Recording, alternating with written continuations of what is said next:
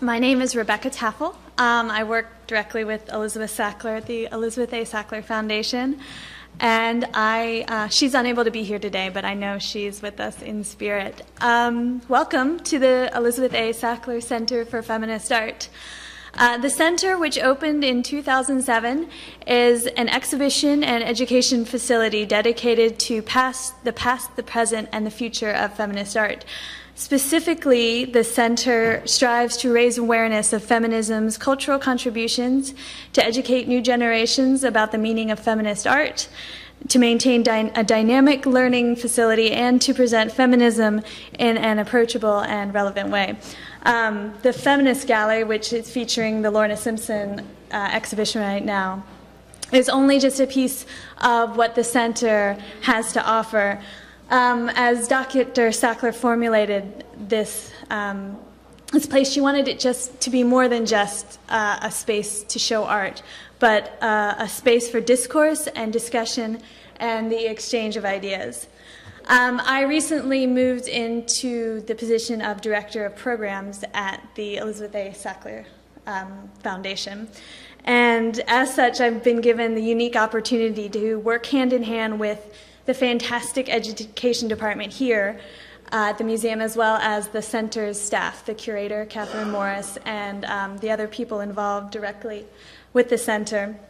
And with them, we've been able to develop lectures and panels that support the center's mission and the exhibition schedule. And I think today's program um, with Phoebe is an ideal fit. I learned of Phoebe's upcoming biography, Alice Neel, The Art of Not Sitting Pretty, last October, and I was thrilled when I finally received it in December. I began reading, and as early as page two, I was convinced that Phoebe needed to come speak at the center, and I'm delighted that she accepted our invitation to do so. Um, she writes on page two although she herself probably would have rejected such labels, she was America's first feminist multiculturalist artist, a popular painter for the ages. And I thought, what a bold start, and I was hooked. Um, I read the uh, entire book very quickly, and um, throughout the book, which is here and available for purchase afterwards. And Phoebe has agreed to stick around and sign copies for, for those of you who purchase a copy. I was struck by her accounts of the bohemian and unconventional Alice Neel and the details of her life as a strong woman, uh, you know, certainly not without her faults, but who continued to paint uh, even though her painting was wholly unfashionable at the time and not very lucrative. Um, the directness, and some may even say the brutality of Alice Neel's artistic style and personal relationships um, make her somewhat of a problematic character, but a true individual and an intriguing artist. Since the publication of Alice Neel, The Art of Not Sitting Pretty, it has been named one of the 10 best books of 2010 by The Village Voice and was included in O Magazine's 15 Books to Watch for 2011. In November of 2010, the New York Times art critic Ken Johnson wrote that of American art books, this should be the biography of the year. It was also an editor's choice in the Sunday Times New York Book Review on January 2nd. Phoebe Hoban has written widely about culture and the arts, from investigative features to major profiles. A New York based arts journalist, uh, journalist, she began her career at Newsweek International and in 1984 began a technology column for the New York Magazine. In 1985, Phoebe began writing Phoebe began writing investigative articles about cultural controversies at New York Magazine, among such diverse topics as J.D. Salinger, Woody Allen, and Kathleen Battle. Since 1985, she has covered culture and the arts for a number of publications, including the New York Times, the New York, Mag- uh, New York Magazine, the New York Observer. She's also written for Vogue, Harper's Bazaar, GQ, Vanity Fair, Elle, and TV Guide with pieces from investigative stories to celebrity profiles. Her, um, her biography on Jean Michel Basquiat is now a Penguin paperback and was a national bestseller, as well as a New York Times Notable Book of the Year. As I mentioned previously, I read Alice Neel with great interest and anticipating the opportunity to hear Phoebe discuss this compelling work. I am delighted she is here today, and I would ask that you help me welcome her to the podium.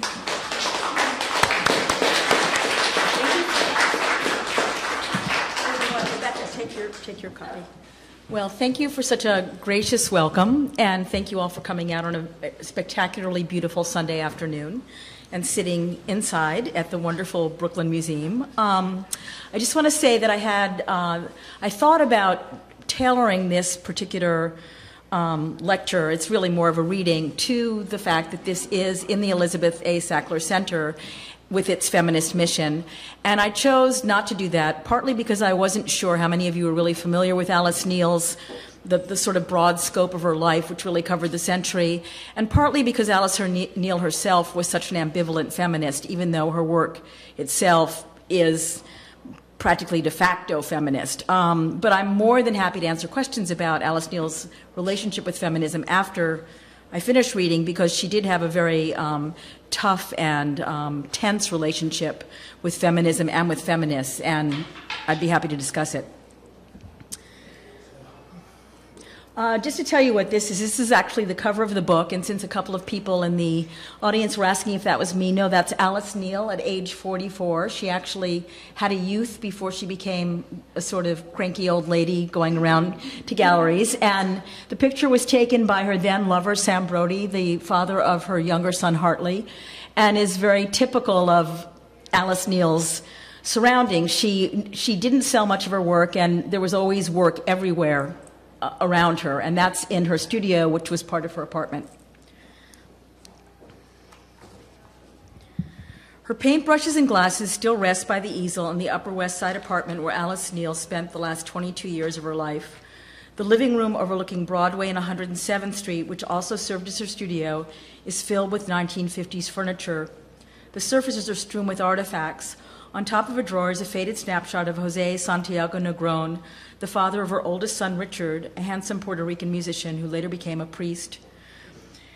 There are paintings everywhere, on the walls, stacked in the hall. Everything has been left just as it was when Neel lived and worked here, covering hundreds of canvases with ruthlessly honest portraits of the people who intrigued her, from neighborhood children to Andy Warhol. Like the Pollock Krasner house in the Springs, where Jackson Pollock's half filled gallons of paint and cans of brushes remain in suspended animation, Neel's place has been frozen in time since her death in 1984. But unlike Pollock's studio, which has been carefully preserved as a temple to its former resident genius, no effort has been made to sanctify the Neel home. Like the artist who lived there, it remains strikingly uncontrived. All that's missing is the powerful presence of Neel herself. Alice Neel liked to say that she was a century, and in many ways she was. She was born into a proper Victorian family and came of age during suffrage, the quintessential bohemian, she spent more than half a century from her early days as a WPA artist through her Whitney retrospective in 1974 until her death 10 years later, painting, often in near obscurity, an extraordinarily diverse population, from young black sisters in Harlem to the elderly Jewish twin artists Raphael and Moses Soyer to Linus Pauling, creating an indelible portrait of 20th century America.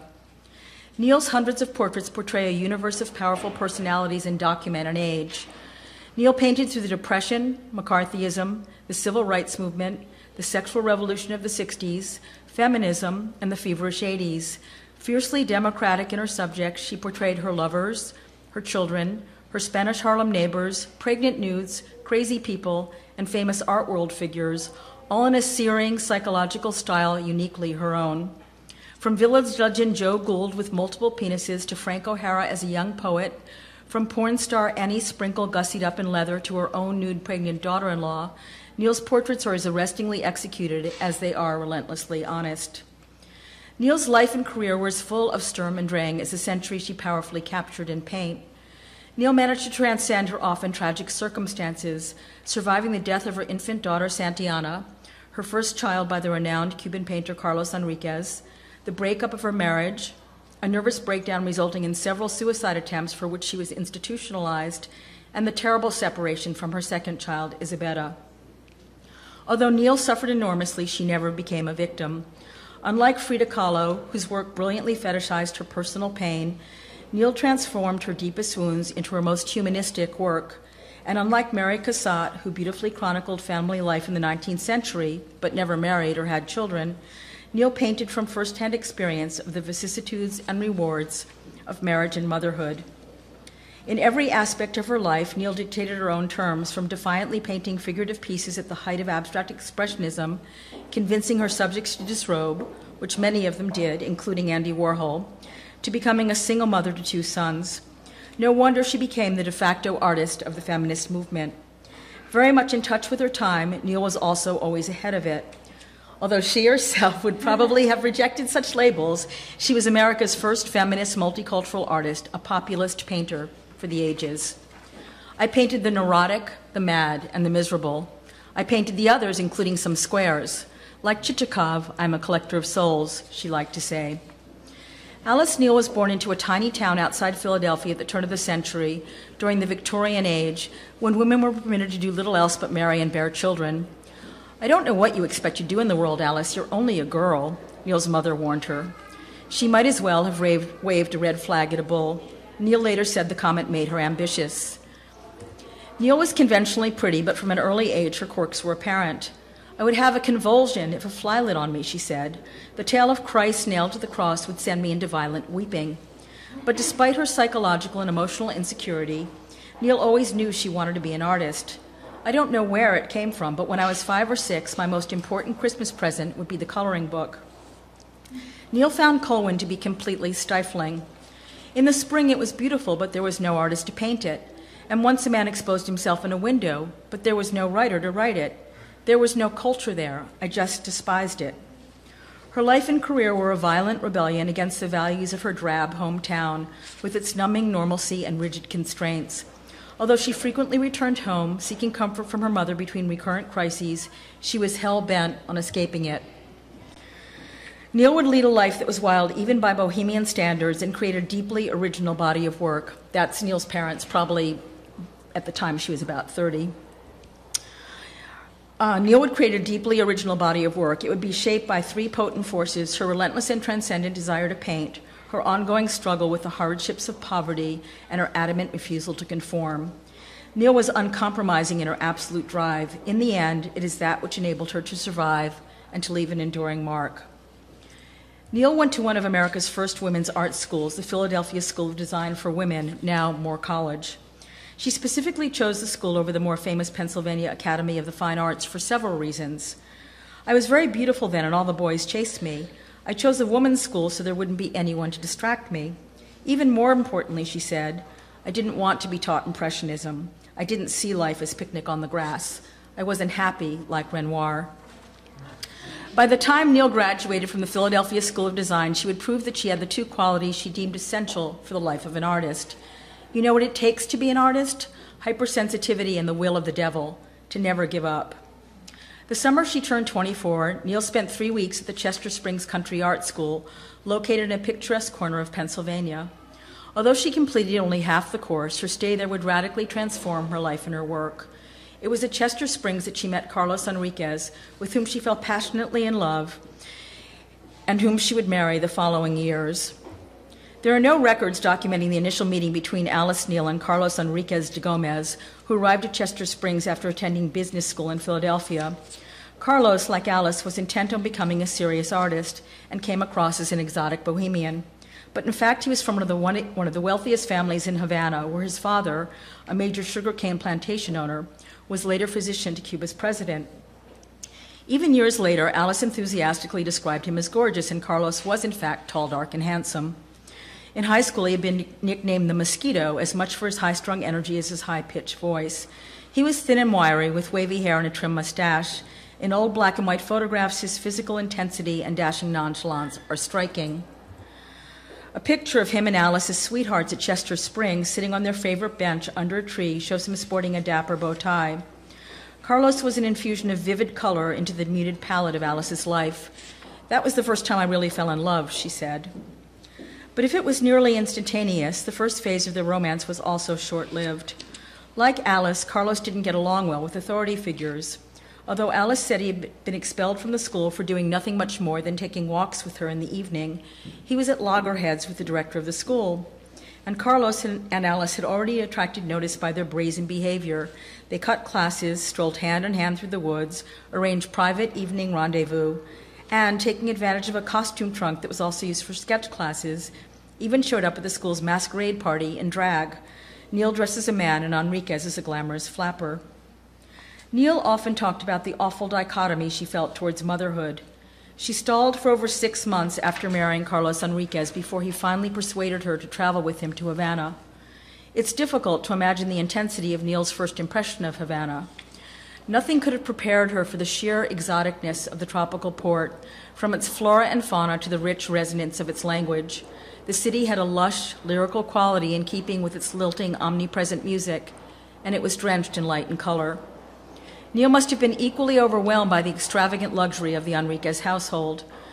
Having grown up in dark, cramped, low ceiling rooms in a working class town, Neel suddenly found herself not only in a glamorous cosmopolitan city, but living in a marble floored mansion with gracious rooms, wide hallways, and huge arched windows. Alice referred to it as a palace. There was even a charming balcony off the bedroom that she shared with Carlos, overlooking a small garden where peacocks strutted.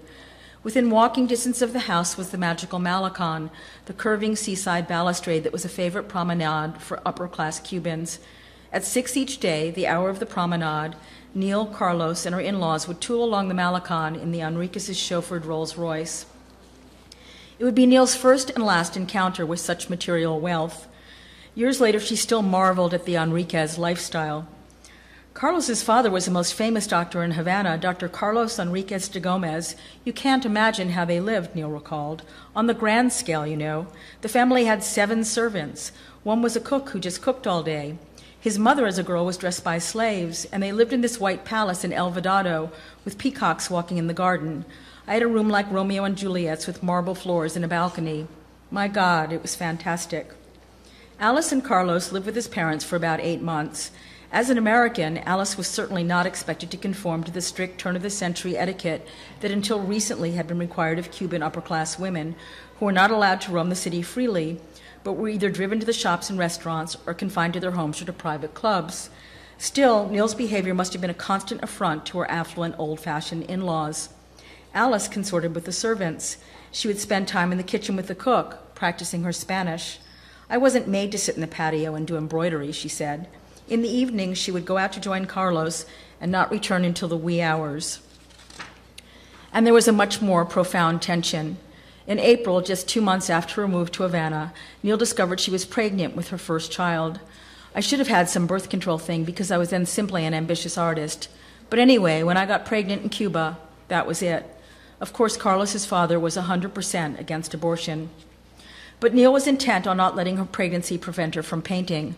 This is a painting Neel did of her husband Carlos uh, during this time, and it's very typical of, of her palette and her rather academic style at the time. She and Carlos liked nothing better than to take a bus from El Vedado to the poor sections of town, Alice colorfully dressed in the native garb.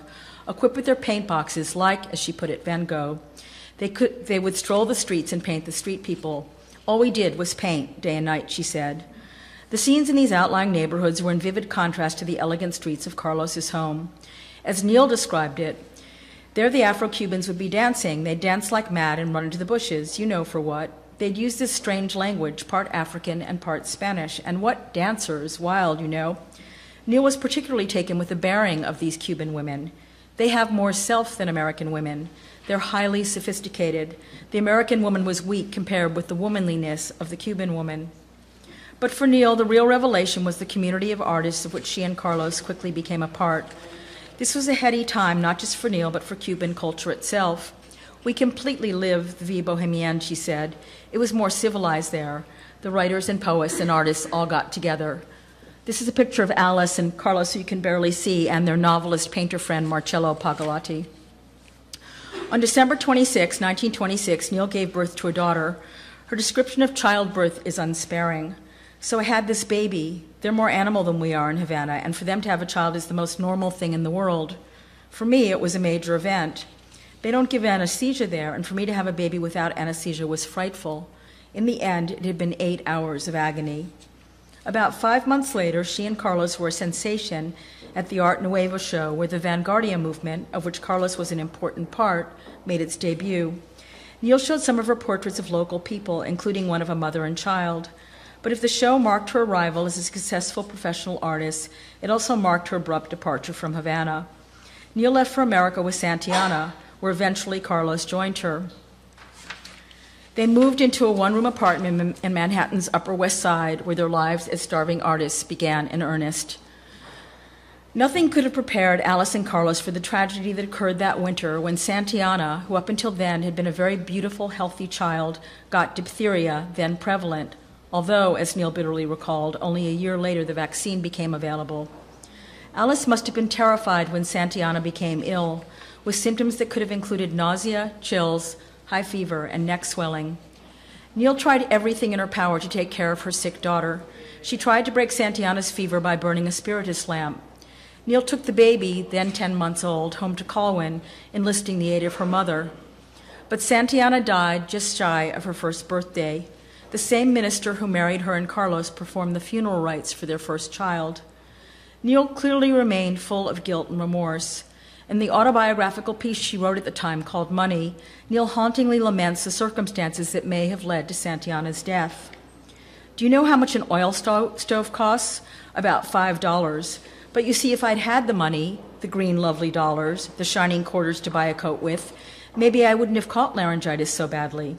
If we hadn't had to live in one little room, maybe the baby wouldn't have caught it like she did. And then if I could have paid a doctor, I wouldn't have been so slow to call one.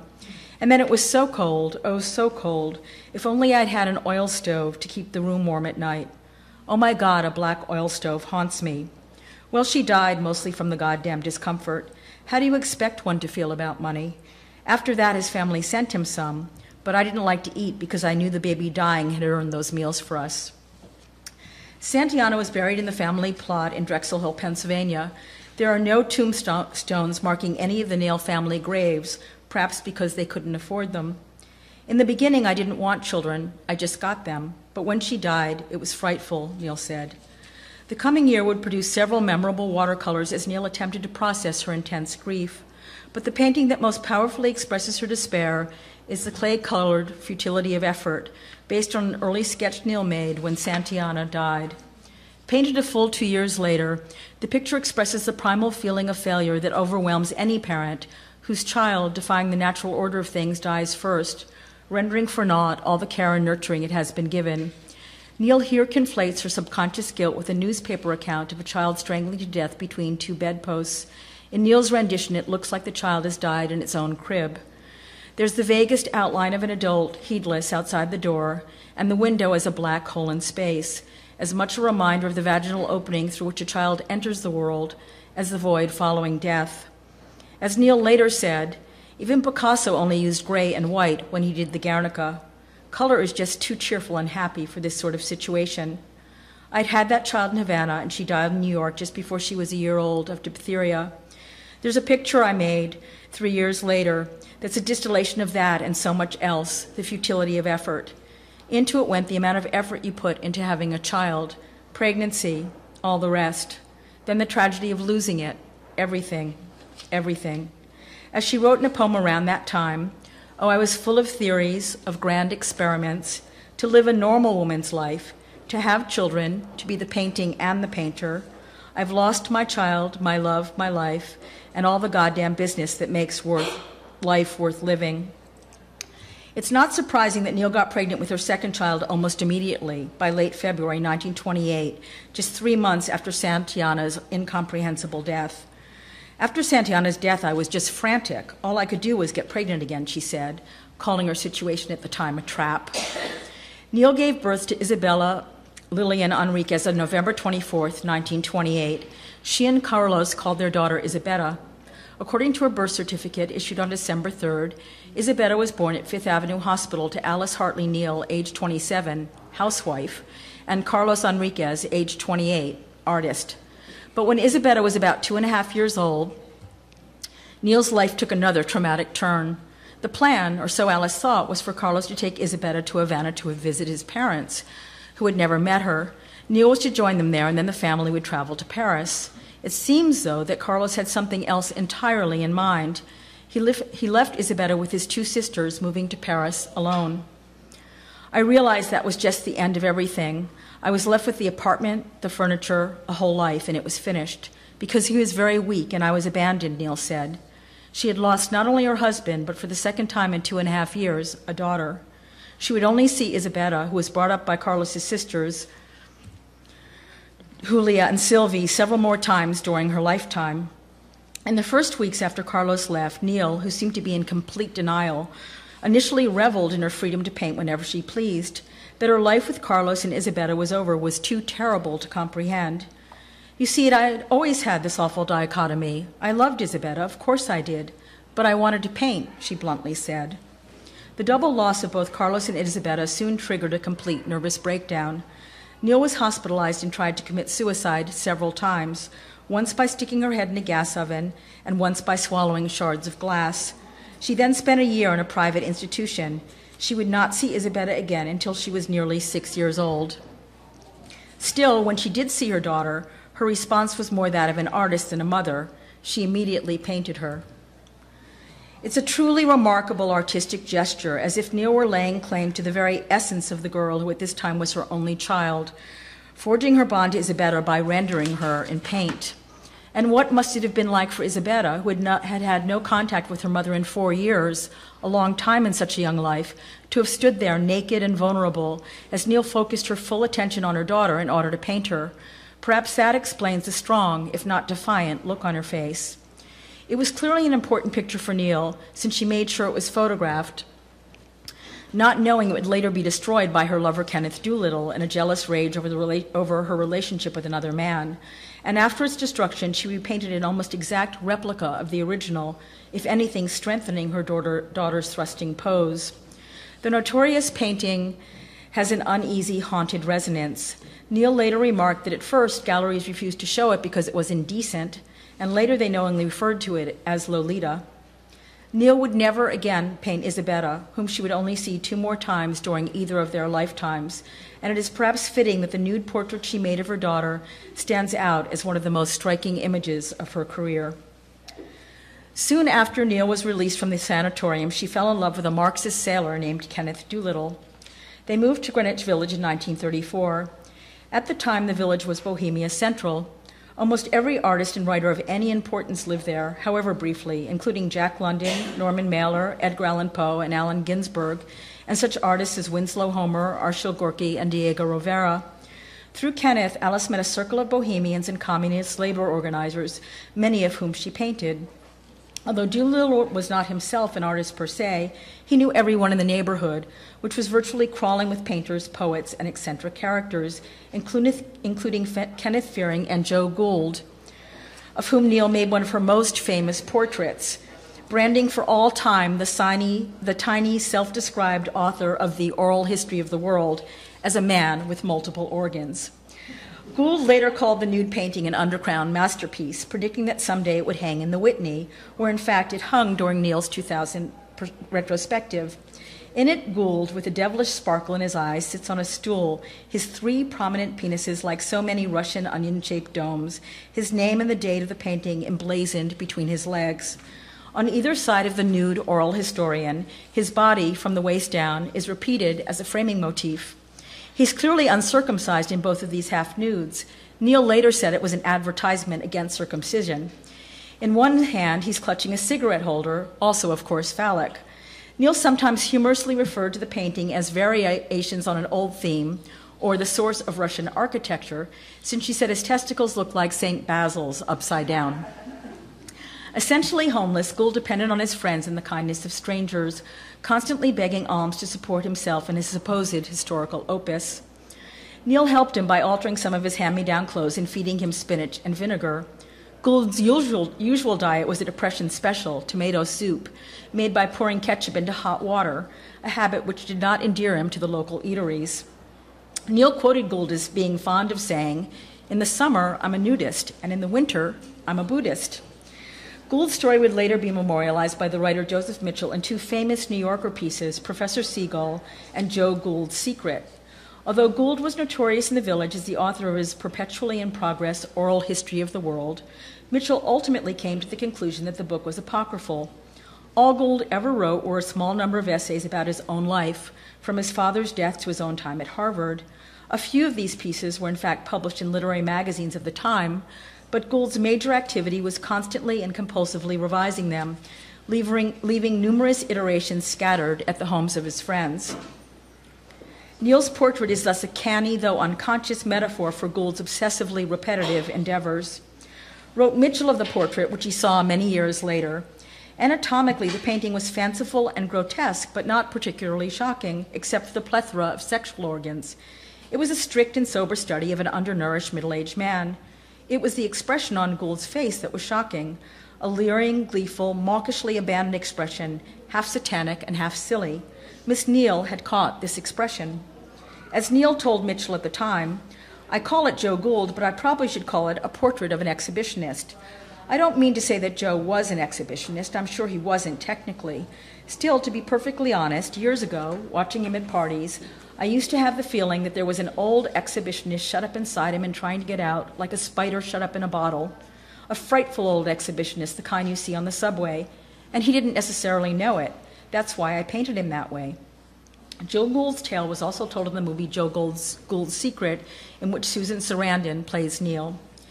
Kenneth Fearing, was at the time a well known poet who is now mostly known for his noir novel, The Big Clock, which became a movie in which there is an over the top artist named Louise Patterson based on Neel, replete with a vermin infested loft and four love children fathered by different partners, just like Neel.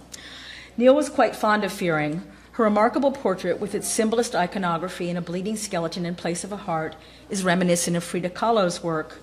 Neel has portrayed a tiny infant by his elbow, his wife had borne him a son the night before, and put characters from his poems in the foreground, with the nearby L train in the background. When Fearing saw the painting, he told Neel to, quote, take that Fauntleroy out of my heart. The reason I put it there, Neel later explained, was that even though he wrote ironic poetry, I thought his heart bled for the grief of the world. Both the Fearing and Gould paintings were done during the Depression, which was at its peak in the winter of 1932, just before Franklin Delano Roosevelt entered the White House. Neel had been in the village almost a year. The unemployment record was estimated as close to 25%, some 15 million people. It was common to see entire families evicted from their homes. By early 1933, 10,000 artists were out of work.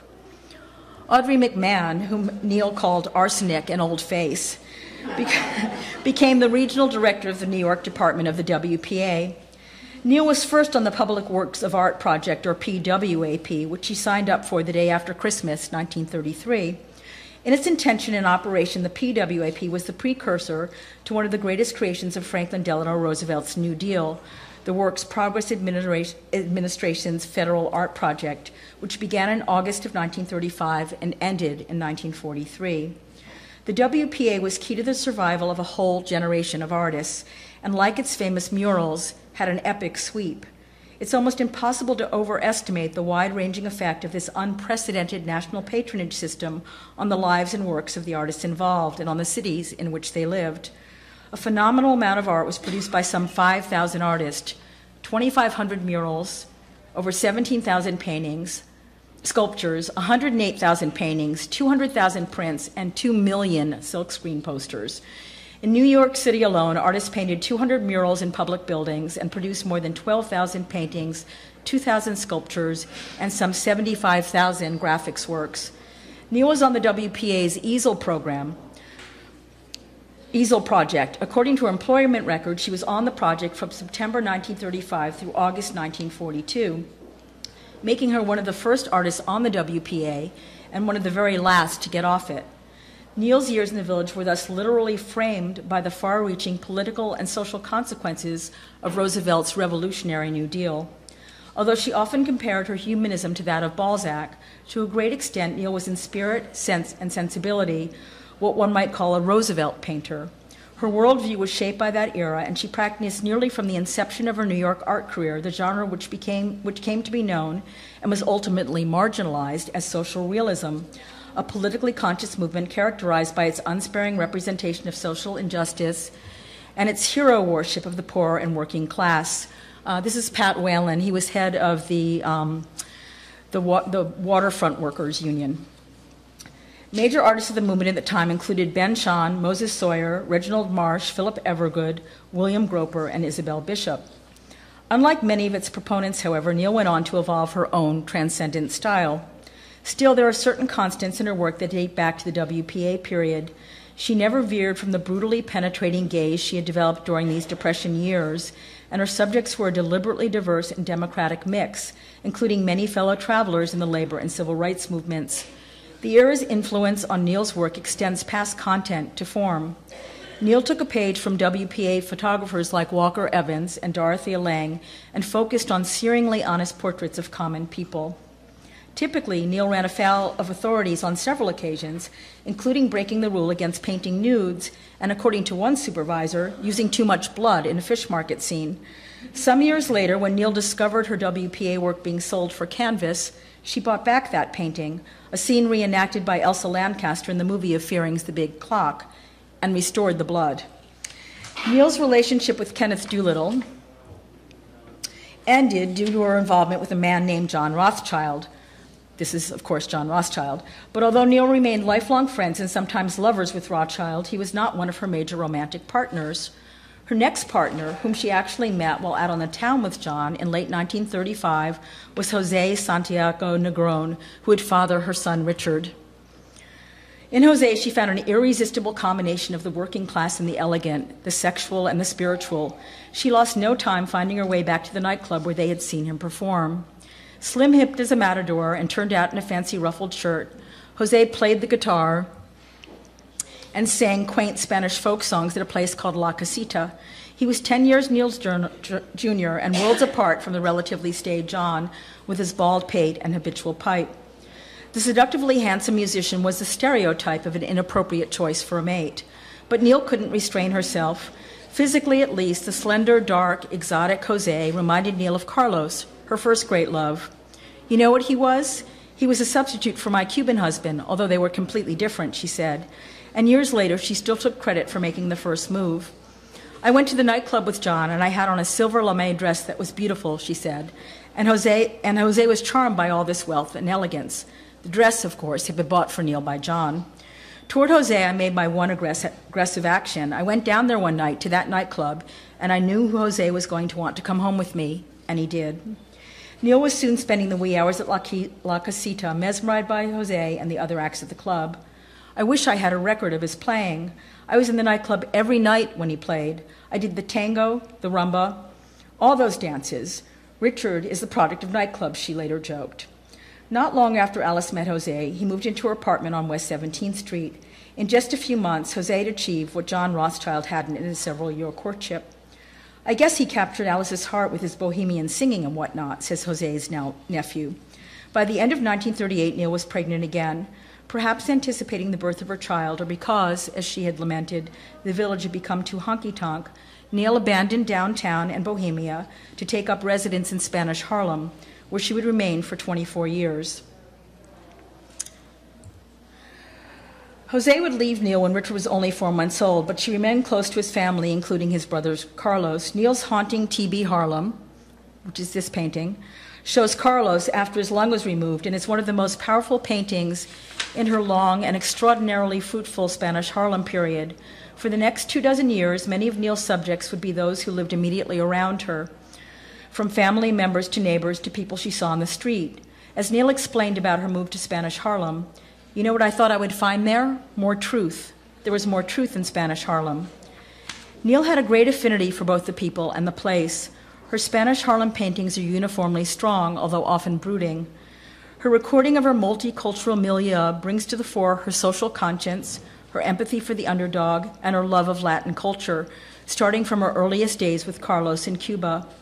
Whether they are of neighborhood children or her own extended family, such as Jose's sister Margarita, with her three young children, Neel's images from her 22 years in the neighborhood rank among her best work. Neel's personal life, like her art, owed a debt to the WPA. Neel met Sam Brody at a WPA meeting in January 1940, scarcely a month after Jose had left. Brody would father her next child and be her partner for the next two decades. There was, Neel recalled, an immediate attraction. Just a few weeks after meeting Neel, Brody moved into the apartment at 10 East 106th Street. Samuel Brody was, in many ways, Neel's ideal match in terms of intellect and interests. His sophisticated discourse was a welcome relief from what Neel called the poor intellectual fare of Spanish Harlem, but he had a deeply destructive side that would take a terrible toll on both Neel and her sons. There was something else in Sam that Neel must have recognized instantly an infallible radar for sensing someone's vulnerabilities. But while Neel confined her most stringent analysis of people, which sometimes bordered on crucifixion, to the canvas, Brody resorted to a full frontal verbal assault. Few people could tolerate it. He was so smart, when he'd pick on people, he'd know exactly the bad spot in them, Neel said. There was something uncanny in his capacity to tear people down. Sam was also known for going after people physically. On more than one occasion, he violently chased would be collectors of Alice's work out of the house. Brody's temper and jealousy expressed itself in other ways than brandishing knives at visitors. He took a violent dislike to Richard. And as time went on, he abused Richard, Neel said. In Andrew Neel's 2007 documentary, Alice Neel, Richard spoke for the first time publicly about being the victim of Sam's physical, not sexual, abuse, which had started when he was an infant and continued until he left home for boarding school at 16. He used to kick me under the table all the time. He kicked me under the table, and one time I screwed up enough courage to say, Stop it. Well, Alice had to go out that evening, and Sam beat me up. He really did. It was intermittent, but it was physical violence, and it was directed at Alice, and it was certainly directed at me. But Richard didn't need to put this abuse on the record. Neel herself had already done so from the very beginning in several drawings and paintings done in 1940, her first year with Brody. In the disturbing painting, The Minotaur, a crazed looking horned Brody with a bristling black heart and a clenched fist anchors the canvas. Over his right shoulder, effectively blocked from rescue by Sam's body, a terrified Richard screams and cries. When Brody later discovered this painting, he tried to destroy it, but Neel patched it back together again. Still, in January 1941, about a year after meeting him, Alice was pregnant with Brody's child. On September 3rd, Neel gave birth to Hartley Stockton Neel. Shortly afterwards, the family moved to East 107th Street in Spanish Harlem. The birth of Hartley did nothing to ameliorate Sam's feelings towards Richard. Sam's attitude toward Hartley was entirely different from his attitude toward Richard, and this created a very difficult situation, said Neel in an uncharacteristic understatement. It was a threat of physical injury that terrorized me, Richard says now. I mean, he could say filthy Puerto Rican and make fun of Spanish people and stuff like that. It's you're small and he's big and you're helpless. When I was a kid, Alice told me, there's a, there's a society for the protection of children. She said it dozens of times. And I said, I want to go there. She had the police up once, Richard recalls. At one point, according to family legend, Sam even broke Richard's collarbone. It would be story time, and instead of hearing Little Bear, I would hear about how my collarbone was broken, or how whenever Sam came into the house, I threw up, Richard says.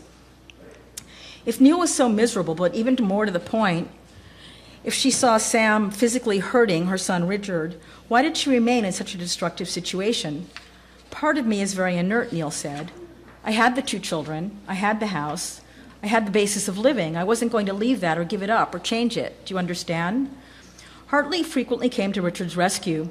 Sam discriminated against Richard in many ways, Hartley says. You know, Richard and I stuck together very much, but at times it was a situation that was just awful. That's all I can say. In the documentary, Richard states it bluntly. The fact is, she tolerated this person she knew was abusing me for years and years. Still, as adults, both Hartley and Richard have nothing but praise for their mother, whom they adore and revere. If she had been satisfied with the paradigm of what some women were supposed to of what women were supposed to be in her era says hartley she would have been nothing okay nothing she might have been the greatest housewife and mother and all that this was the other side of the coin richard even goes so far as to say that despite the suffering he experienced as a child having alice as a mother was a worthwhile trade-off she was a good mother she was a very good friend to me and the fact that she might not have been able to give me the protection i might have gotten somewhere else that's a fact but suppose I got the protection and I didn't get something else. It was a gift to have her as a mother, certainly. There's no question about it. Neel's final WPA assignment in the summer of 1943 was to scrape armbands worn by guards in case of a German raid. I joined the WPA to paint masterpieces, not scrape armbands, she said. Instead, she spent all day chatting with fellow artists, turning in an already corrected bundle at the end of the day. Neel immediately went on to public welfare, which she would continue to receive through the 1950s. It was the end of an era. Neel had several, show, several shows in the early 1940s and 50s before she was plunged into complete oblivion. The post war politics and advent of abstract expressionism wiped social realism off the map. But Neel never stopped painting, accumulating hundreds of portraits in her apartment. It was a difficult time for figure paintings, but Neel ne- never gave up her commitment not just to figure painting, but to portraiture. She was, she always said, first and foremost, a humanist. It wasn't until the early 60s when figurative painting, including pop art, resurfaced, that Neel began what would ultimately become her triumphant comeback. Her technique had continued to evolve, and by the 1960s, she was painting portraits that even today look modern and contemporary. By the mid 60s, Neel had established her mature style, creating a series of canvases that are among her best known. This painting of Hartley, done in 1966 when he was a medical student at Tufts, is indicative of the light palette and fluid lines Neel now incorporated into her work. This portrait of Richard was done in the 1970s. Neel would finally find her place in the public spotlight thanks to the feminist movement of the early 1970s, which fully embraced her as a feminist icon. Although Neel had conflicted feelings about the movement itself, she said she'd been a feminist long before the movement arose and ridiculed Judy Chicago for doing nothing but, quote, painting her pussy. She took full advantage of the prominent pedestal feminine, feminism provided, painting many of its movers and shakers, from her 1970 Time magazine cover of Kate Millett to her portraits of Bella Abzug and the influential feminist art critic Linda Nochlin and her daughter Daisy. Her portrait of her daughter in law, Nancy Neel, painted in 1971, is a signature painting of this period. Note the shadow of Richard hovering in the background. Neel was adept at capturing the anxieties of motherhood, and her pregnant nudes, both genre bending and taboo, are among her greatest works. The pregnant nude provided her with a unique and powerful image, literally a physical embodiment of women's basic conflicts. Just as she had chronicled the beats and bohemians of the village in the 1930s, Neel spent much of the 1960s and 70s painting members of the art world, including the artists who perhaps epitomized the second half of the 20th century. That's Frank O'Hara, who she painted in 1960, who at the time was not just a poet but a, a very influential art critic, and she really hoped he would help get her into the Museum of Modern Art, and he didn't. And that's Red Grooms and Mimi Gross, uh, least 10 years before they got divorced, although, as you can see, they're not getting along too well here. Uh, Neel was famous for being able to capture some of the, uh, you know, uneasiness between couples. So, um, so now we're going to get to the artist who epitomized the second half of the 20th century, Andy Warhol. It's an astonishing portrait on every level and one of Neel's personal favorites. Warhol offered to strip to the waist, revealing the scars from the assassination attempt by Valerie Solanas two years earlier, as well as the surgical corset he was now forced to wear. Neel exaggerated these disturbing details to indelible effect. She also painted one of the most voyeuristic and perceptive artists of the, of the 20th century with his eyes tightly closed. She gives the androgynous Warhol an almost feminine form with small drooping breasts and wide hips and perhaps alluding to Warhol's own beginnings as a commercial illustrator who did shoe advertisements for I. Miller, she rendered his shoes in beautiful, shiny detail. The portrait is memorable for Neel's nervy perspicacity in depicting Warhol's vulnerability as a perpetual outsider, like herself, and as a literal victim of his own celebrity. But Warhol's input is also key. His courageous self exposure is in itself an artistic act. Of all Neel's paintings, this portrait comes the closest to a collaboration. In 1974, Neel got the Whitney retrospective many thought she had long deserved, and that the feminists had aggressively lobbied for. And by the 1980s, she was justifiably famous, painting such public figure, figures as Mayor Koch, and having the ultimate celebrity experience, appearing on Johnny Carson twice not long before her death. Neel does some of her strongest and most provocative work in her final decade or so. Her painting of Annie Sprinkle in full fetish gear and with pierced labia was done in 1982. She never stopped painting prolifically right up to the time of her death. In fact, her final portrait is that of her attending physician. I'm going to close with a paragraph or two that I'm going to read straight from the book um, that takes place very close to the end of her life. when Neel was actually, unlike most artists, at the peak of her powers. And I think this passage describes one of her best paintings ever, done in 1980, but also sort of sums up her extraordinary creative drive. One of the last paintings Neel made was one of her rare self portraits. At 80, Neel cast as relentless an eye on herself as on the hundreds of subjects of her long career. Perched on a chair, the artist known for her scathing nude portraits is, st- is stripped down to her quintessence. Naked but for her glasses, a paintbrush, and a rag, she bravely renders herself with neither clothing nor props, her aging body equipped just with the tools of her craft, her vision, and her deftly wielded implements, as if to make the definitive statement of self expression I paint, therefore I am. The flesh may sag, may, as Neel put it, be dropping off the bone, but the artist and her ability to paint remain forcefully intact. It's a radical departure from the standard artist self portrait, and in its stark veracity, beautifully illustrates Neel's original and enduring American vision. The road that I pursued, and the road that I think keeps you an artist, is that no matter what happens to you, you still keep on painting, she once said. Thank you.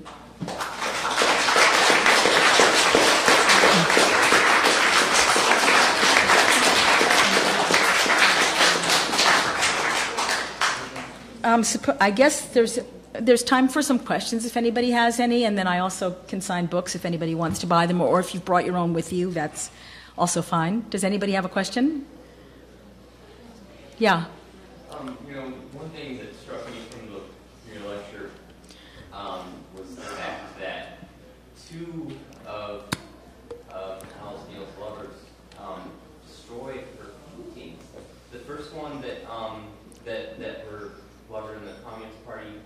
Only one. Only one, actually. Oh well, that's true. Sam did destroy one painting. Yeah. yeah. It just it strikes me so like um, it sounds unique, and I just can't think of. I, I was just wondering if you could think of any any other artist that that's kind of occurred with, or it's just a loved one. Well, it certainly shows Neel's extraordinarily to- extraordinary tolerance level for abuse, which goes a little way towards explaining the fact that she allowed Sam to abuse Richard. But uh, it's not it's not unheard of. I have I can't give you an exact example, but I have read in literature not just of um, artists but of writers destroying each other's work or their own work. It does happen. It is, of course, a crime, and you know, a, a creative crime as well. Um, and her family has never ever forgiven Kenneth Doolittle for that. And in fact, I went out of my way in the book to do a whole chapter or portion of the chapter on Kenneth Doolittle because Neel spent most of the rest of her life just saying how he was this crazy guy who destroyed all her work. Whereas in fact he was a Spanish War hero and was and one of the he be, one of the organizers of the 1199 Hospital Workers Union, and after his relationship with Neel, led a very um, admirable life. He was a great husband. He was a great father. He was a communist and was blacklisted, but he I think that she just pushed his buttons. Um, I mean, she was extremely promiscuous. She was flagrantly cheating on him. Um, and I think at the time she might also have been pregnant and aborted his child. There were a lot of things that were going on. And, you know, yeah, it's unforgivable. Um, but she not only later forgave him many years later, but she gave him John Rothschild's clothes after John Rothschild died. John Rothschild being the guy she was cheating on him with. So Neel was a very complicated woman, to put it mildly.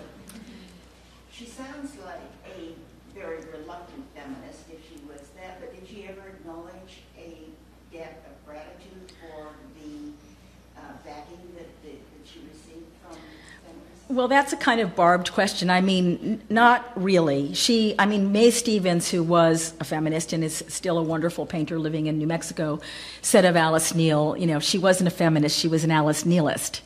And one of her most famous feminist uh, acts was in 1972, there was the first conference for women in the visual arts at the Corcoran. And Neel, it was one of Neel's first opportunities to show her work to a willing and ready audience. And she had to be dragged off the stage. She like completely hogged the stage. She showed 40 years of work. They had to pull her off the stage. And then she peed in the hall of the Corcoran publicly. And, you know, which is still sort of notorious lore in feminist literature. And the feminist writer Mary Garrard said, turned this into kind of like a badge of courage, and said that Neel did this, you know, because she was like Jackson Pollock, and she showed that a woman artist really could be like a male artist, totally free of constraint.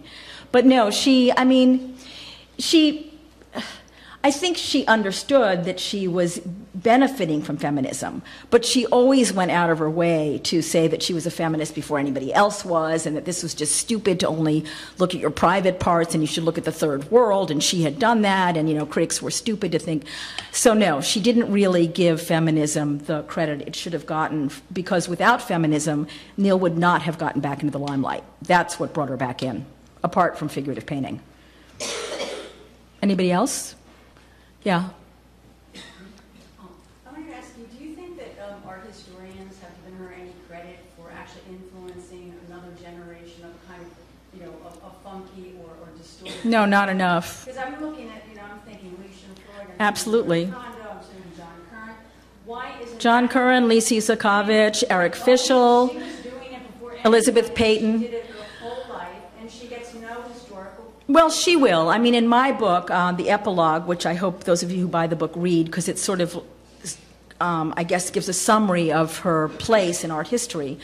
Um, I give her full credit for that, and I say that she influenced a whole generation of artists, including Eric Fischl and John Currin and um, Elizabeth Peyton in particular. And you know, you can you can decide who's the better portrait painter. Um, but I think that it it took so long for Neel to get into the literature at all, even as a major 20th century artist, that it's just going to take a while longer for people to refine it and add nuance to what her place is. But I think she certainly, um, one of the ways I became interested in her was that all of my friends who were painters idolized her. And um, I wouldn't say she influ- influenced Lucian Freud, but certainly they, they are connected. And she's connected with Francis Bacon, as far as I'm concerned, too. I mean, there's lots of overlaps in treatment of the, of the figure. Any other questions? Uh, okay, you first, and then you. It's really interesting, um, sort of choice of subjects and the diversity and the range of that. Did you, do you feel like there relationships that she cultivated around the subjects that she portrayed? or I think. Um, How did that sort of community? Well, I, you know, as I said, and as Rebecca said in her uh, introduction, I mean, she was the first multicultural painter, and part of that had to do with that she considered herself a humanist, and she was interested in the human condition in whatever form it took. Also, I think the things that informed her sensibility and her work were Latin culture, which she was introduced to very young in Havana at a really incredible moment in, in Cuban culture, which I have a whole chapter on. I mean, what came out of Cuban culture at that time was extraordinary, and Carlos went on to be one of the most famous 20th century painters in Cuban history. Um, but so Latin culture sort of radicalized her, as did the Depression. I think having a complete breakdown and being in a in in a hospital, you know, in the suicidal ward, and then being in a private institution, kind of sensitized her to other people's, you know, psychic wounds. And I think poverty too. I mean, she was poor her entire life, and she was very, very aware of what the people around her went through, including, you know, her Spanish Harlem neighbors. So. I mean, that was what interested in her. She always said, I, I want to paint the zeitgeist. I use people as the evidence of my time. So she was a people collector. That's what she did. She was a collector of souls, which is what she's was famously called by um, Jack Kroll in Newsweek in the 60s. Yeah. Well, I was just going to reminisce about how she appeared here in the museum in a panel for women painters over 70.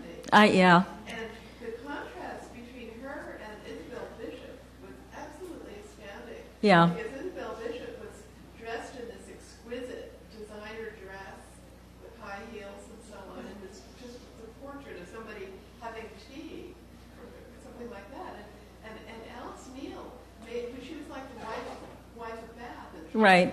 She portrayed herself eh, happily in, in the most bawdy Totally. possible. And it was, it was, she was quite a. I have um, a funny anecdote that Paul Resnick told me that's in the book where Alice Neel used to go down not to the Abstract Artist Club but to another group that's escaping my memory at the moment, down in the village in the 60s and hang out with everybody and talk. And, you know, she prided herself on talking like a sailor and always shocked everybody because here was this grandmotherly woman using these curse words and being extraordinarily vulgar. And so one day she was leaving the club along with Isabel Bishop, and she almost like knocked Isabel Bishop over to get in the cab with her because she really wanted to be considered in the same light as Isabel Bishop, who was considered a, a, great lady and a great painter.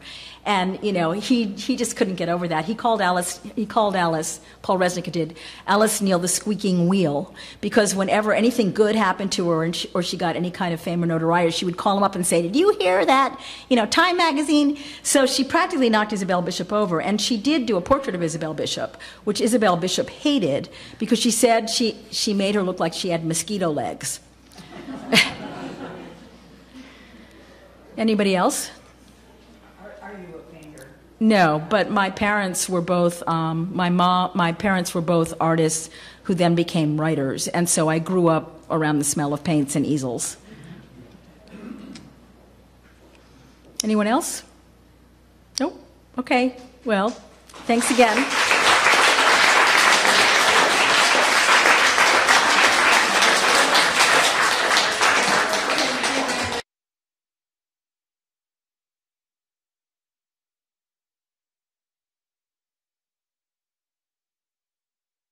Neel left for America with Santillana, where eventually Carlos joined her.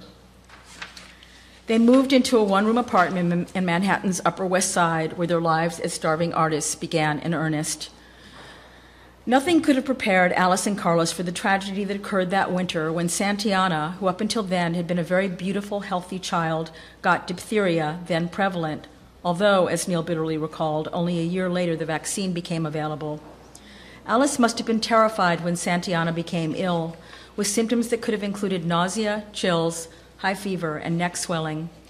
Neel tried everything in her power to take care of her sick daughter. She tried to break Santillana's fever by burning a spiritus lamp. Neel took the baby, then 10 months old, home to Colwyn, enlisting the aid of her mother. But Santillana died just shy of her first birthday. The same minister who married her and Carlos performed the funeral rites for their first child. Neel clearly remained full of guilt and remorse. In the autobiographical piece she wrote at the time called Money, Neel hauntingly laments the circumstances that may have led to Santillana's death. Do you know how much an oil sto- stove costs? About $5. But you see, if I'd had the money, the green lovely dollars, the shining quarters to buy a coat with, maybe I wouldn't have caught laryngitis so badly. If we hadn't had to live in one little room, Maybe the baby wouldn't have caught it like she did. And then if I could have paid a doctor, I wouldn't have been so slow to call one. And then it was so cold, oh, so cold. If only I'd had an oil stove to keep the room warm at night. Oh my God, a black oil stove haunts me. Well, she died mostly from the goddamn discomfort. How do you expect one to feel about money? After that, his family sent him some, but I didn't like to eat because I knew the baby dying had earned those meals for us. Santillana was buried in the family plot in Drexel Hill, Pennsylvania. There are no tombstones marking any of the Neel family graves, perhaps because they couldn't afford them. In the beginning, I didn't want children, I just got them. But when she died, it was frightful, Neel said. The coming year would produce several memorable watercolors as Neel attempted to process her intense grief. But the painting that most powerfully expresses her despair is the clay colored futility of effort, based on an early sketch Neel made when Santillana died. Painted a full two years later, the picture expresses the primal feeling of failure that overwhelms any parent whose child, defying the natural order of things, dies first, rendering for naught all the care and nurturing it has been given. Neel here conflates her subconscious guilt with a newspaper account of a child strangling to death between two bedposts. In Neel's rendition, it looks like the child has died in its own crib. There's the vaguest outline of an adult, heedless, outside the door, and the window as a black hole in space, as much a reminder of the vaginal opening through which a child enters the world as the void following death. As Neel later said, even Picasso only used gray and white when he did the Guernica. Color is just too cheerful and happy for this sort of situation. I'd had that child in Havana, and she died in New York just before she was a year old of diphtheria. There's a picture I made three years later that's a distillation of that and so much else, the futility of effort. Into it went the amount of effort you put into having a child, pregnancy, all the rest. Then the tragedy of losing it, everything. everything. As she wrote in a poem around that time, Oh, I was full of theories, of grand experiments, to live a normal woman's life, to have children, to be the painting and the painter. I've lost my child, my love, my life, and all the goddamn business that makes worth, life worth living. It's not surprising that Neel got pregnant with her second child almost immediately, by late February 1928, just three months after Santillana's incomprehensible death. After Santillana's death, I was just frantic. All I could do was get pregnant again, she said, calling her situation at the time a trap. Neel gave birth to Isabella Lillian and Enriquez on November 24, 1928. She and Carlos called their daughter Isabella. According to her birth certificate issued on December 3rd, Isabella was born at Fifth Avenue Hospital to Alice Hartley Neel, age 27, housewife, and Carlos Enriquez, age 28, artist. But when Isabella was about two and a half years old, Neel's life took another traumatic turn. The plan, or so Alice thought, was for Carlos to take Isabella to Havana to visit his parents, who had never met her. Neel was to join them there, and then the family would travel to Paris. It seems, though, that Carlos had something else entirely in mind. He, lif- he left Isabella with his two sisters, moving to Paris alone. I realized that was just the end of everything. I was left with the apartment, the furniture, a whole life, and it was finished. Because he was very weak and I was abandoned, Neel said. She had lost not only her husband, but for the second time in two and a half years, a daughter. She would only see Isabella, who was brought up by Carlos's sisters, Julia and Sylvie, several more times during her lifetime. In the first weeks after Carlos left, Neel, who seemed to be in complete denial, initially reveled in her freedom to paint whenever she pleased. That her life with Carlos and Isabella was over was too terrible to comprehend. You see, I had always had this awful dichotomy. I loved Isabella, of course I did, but I wanted to paint, she bluntly said. The double loss of both Carlos and Isabella soon triggered a complete nervous breakdown. Neel was hospitalized and tried to commit suicide several times, once by sticking her head in a gas oven, and once by swallowing shards of glass. She then spent a year in a private institution. She would not see Isabella again until she was nearly six years old. Still, when she did see her daughter, her response was more that of an artist than a mother. She immediately painted her. It's a truly remarkable artistic gesture, as if Neel were laying claim to the very essence of the girl who at this time was her only child, forging her bond to Isabella by rendering her in paint. And what must it have been like for Isabella, who had, not, had had no contact with her mother in four years, a long time in such a young life, to have stood there naked and vulnerable as Neel focused her full attention on her daughter in order to paint her? Perhaps that explains the strong, if not defiant, look on her face. It was clearly an important picture for Neel, since she made sure it was photographed, not knowing it would later be destroyed by her lover Kenneth Doolittle in a jealous rage over, rela- over her relationship with another man. And after its destruction, she repainted an almost exact replica of the original, if anything, strengthening her daughter, daughter's thrusting pose. The notorious painting has an uneasy, haunted resonance. Neel later remarked that at first galleries refused to show it because it was indecent and later they knowingly referred to it as Lolita.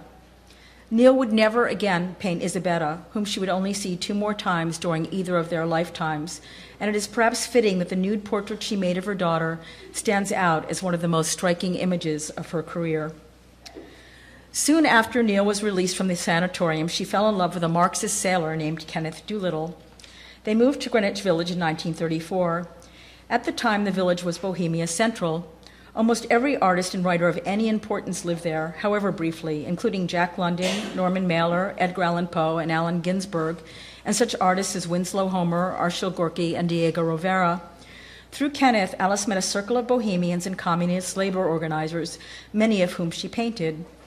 Although Doolittle was not himself an artist per se, he knew everyone in the neighborhood, which was virtually crawling with painters, poets, and eccentric characters, including, including Kenneth Fearing and Joe Gould, of whom Neel made one of her most famous portraits, branding for all time the, tiny, the tiny self described author of the Oral History of the World as a man with multiple organs.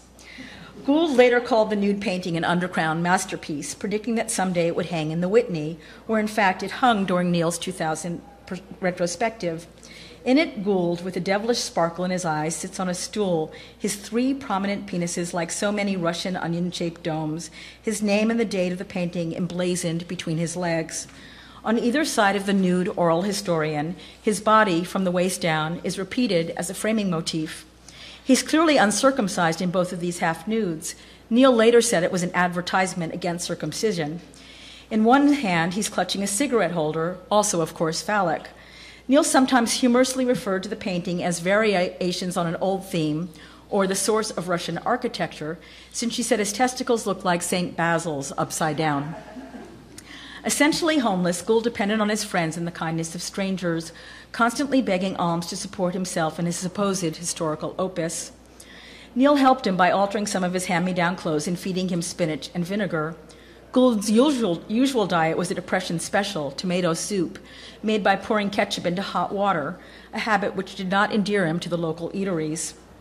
Neel quoted Gould as being fond of saying, In the summer, I'm a nudist, and in the winter, I'm a Buddhist. Gould's story would later be memorialized by the writer Joseph Mitchell in two famous New Yorker pieces, Professor Seagull and Joe Gould's Secret. Although Gould was notorious in the village as the author of his perpetually in progress oral history of the world, Mitchell ultimately came to the conclusion that the book was apocryphal.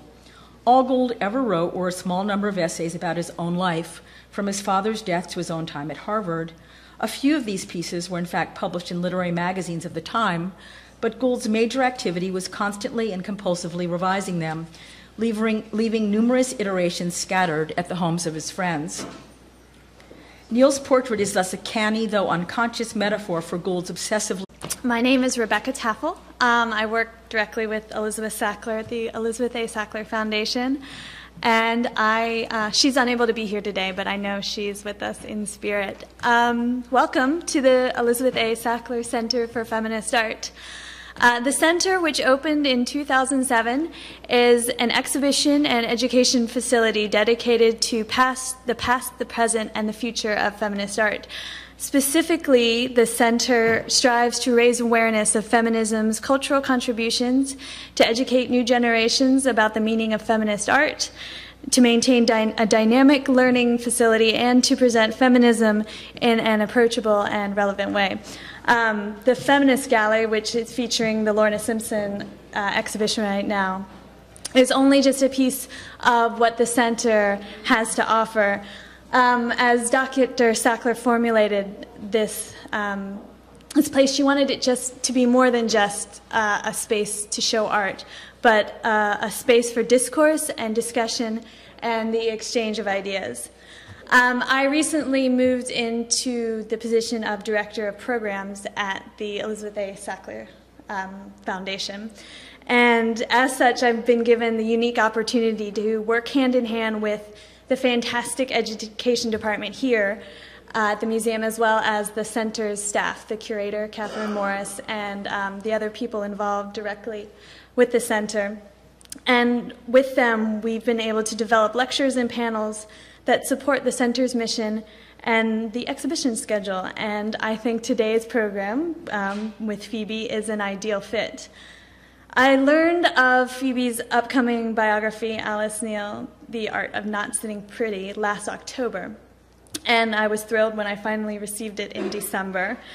I began reading, and as early as page two, I was convinced that Phoebe needed to come speak at the center, and I'm delighted that she accepted our invitation to do so.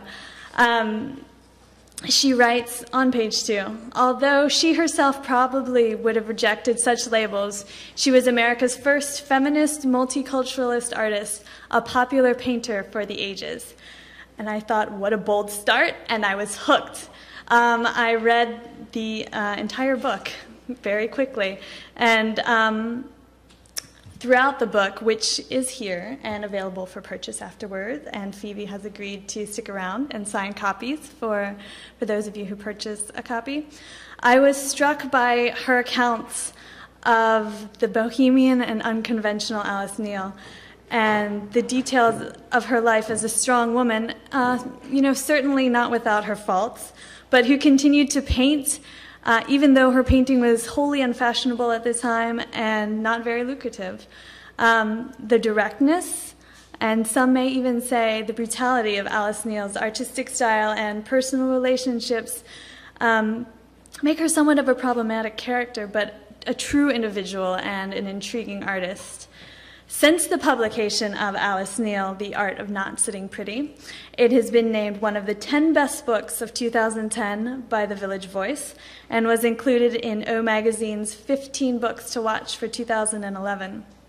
In November of 2010, the New York Times art critic Ken Johnson wrote that of American art books, this should be the biography of the year. It was also an editor's choice in the Sunday Times New York Book Review on January 2nd. Phoebe Hoban has written widely about culture and the arts, from investigative features to major profiles. A New York based arts journalist, uh, journalist, she began her career at Newsweek International and in 1984 began a technology column for the New York Magazine. In 1985, Phoebe began writing Phoebe began writing investigative articles about cultural controversies at New York Magazine, among such diverse topics as J.D. Salinger, Woody Allen, and Kathleen Battle. Since 1985, she has covered culture and the arts for a number of publications, including the New York Times, the New York, Mag- uh, New York Magazine, the New York Observer. She's also written for Vogue, Harper's Bazaar, GQ, Vanity Fair, Elle, and TV Guide with pieces from investigative stories to celebrity profiles.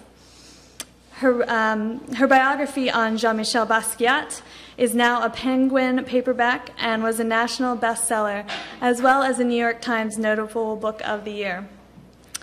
As I mentioned previously, I read Alice Neel with great interest and anticipating the opportunity to hear Phoebe discuss this compelling work. I am delighted she is here today, and I would ask that you help me welcome her to the podium.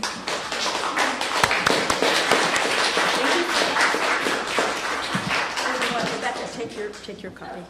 Well, thank you for such a gracious welcome, and thank you all for coming out on a spectacularly beautiful Sunday afternoon and sitting inside at the wonderful Brooklyn Museum. Um, I just want to say that I had, uh, I thought about tailoring this particular um, lecture, it's really more of a reading, to the fact that this is in the Elizabeth A. Sackler Center with its feminist mission. And I chose not to do that, partly because I wasn't sure how many of you are really familiar with Alice Neel's.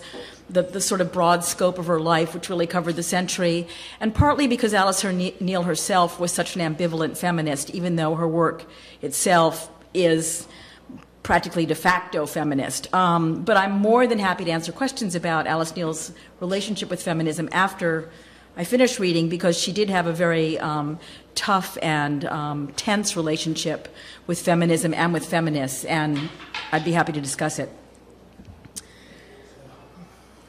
Uh, just to tell you what this is, this is actually the cover of the book, and since a couple of people in the audience were asking if that was me, no, that's Alice Neel at age 44. She actually had a youth before she became a sort of cranky old lady going around to galleries, and the picture was taken by her then lover, Sam Brody, the father of her younger son, Hartley, and is very typical of Alice Neel's surroundings. She, she didn't sell much of her work, and there was always work everywhere uh, around her, and that's in her studio, which was part of her apartment. Her paintbrushes and glasses still rest by the easel in the Upper West Side apartment where Alice Neel spent the last 22 years of her life. The living room overlooking Broadway and 107th Street, which also served as her studio, is filled with 1950s furniture. The surfaces are strewn with artifacts. On top of a drawer is a faded snapshot of Jose Santiago Negron, the father of her oldest son, Richard, a handsome Puerto Rican musician who later became a priest. There are paintings everywhere, on the walls, stacked in the hall. Everything has been left just as it was when Neel lived and worked here, covering hundreds of canvases with ruthlessly honest portraits of the people who intrigued her, from neighborhood children to Andy Warhol. Like the Pollock Krasner house in the Springs, where Jackson Pollock's half filled gallons of paint and cans of brushes remain in suspended animation, Neel's place has been frozen in time since her death in 1984. But unlike Pollock's studio, which has been carefully preserved as a temple to its former resident genius, no effort has been made to sanctify the Neel home. Like the artist who lived there, It remains strikingly uncontrived. All that's missing is the powerful presence of Neel herself. Alice Neel liked to say that she was a century, and in many ways she was. She was born into a proper Victorian family and came of age during suffrage. The quintessential bohemian, she spent more than half a century from her early days as a WPA artist through her Whitney retrospective in 1974 until her death 10 years later, painting, often in near obscurity, an extraordinarily diverse population, from young black sisters in Harlem to the elderly Jewish twin artists Raphael and Moses Soyer to Linus Pauling, creating an indelible portrait of 20th century America. Neel's hundreds of portraits portray a universe of powerful personalities and document an age. Neel painted through the Depression, McCarthyism, the Civil Rights Movement, the sexual revolution of the 60s, feminism, and the feverish 80s.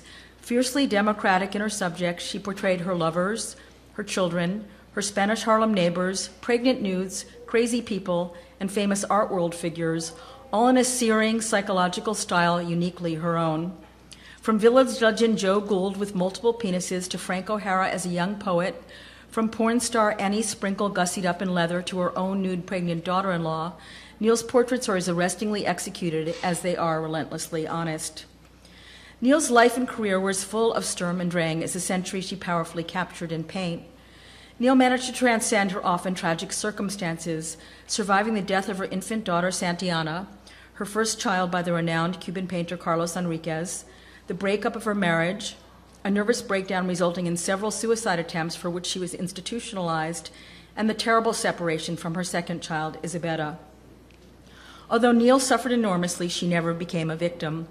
Unlike Frida Kahlo, whose work brilliantly fetishized her personal pain, Neel transformed her deepest wounds into her most humanistic work, and unlike Mary Cassatt, who beautifully repetitive endeavors, wrote Mitchell of the portrait, which he saw many years later. Anatomically, the painting was fanciful and grotesque, but not particularly shocking, except for the plethora of sexual organs.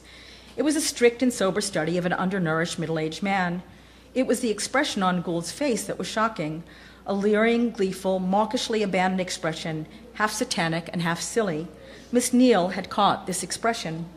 As Neel told Mitchell at the time, I call it Joe Gould, but I probably should call it a portrait of an exhibitionist. I don't mean to say that Joe was an exhibitionist, I'm sure he wasn't technically. Still, to be perfectly honest, years ago, watching him at parties, I used to have the feeling that there was an old exhibitionist shut up inside him and trying to get out, like a spider shut up in a bottle. A frightful old exhibitionist, the kind you see on the subway, and he didn't necessarily know it. That's why I painted him that way. Joe Gould's tale was also told in the movie Joe Gould's, Gould's Secret, in which Susan Sarandon plays Neel. Kenneth Fearing was at the time a well known poet who is now mostly known for his noir novel, The Big Clock, which became a movie in which there is an over the top artist named Louise Patterson based on Neel, replete with a vermin infested loft and four love children fathered by different partners, just like Neel. Neel was quite fond of Fearing, her remarkable portrait, with its symbolist iconography and a bleeding skeleton in place of a heart, is reminiscent of Frida Kahlo's work. Neel has portrayed a tiny infant by his elbow. His wife had borne him a son the night before, and put characters from his poems in the foreground, with the nearby L train in the background. When Fearing saw the painting, he told Neel to, quote, take that Fauntleroy out of my heart, the reason I put it there, Neel later explained, was that even though he wrote ironic poetry, I thought his heart bled for the grief of the world. Both the Fearing and Gould paintings were done during the Depression, which was at its peak in the winter of 1932, just before Franklin Delano Roosevelt entered the White House. Neel had been in the village almost a year.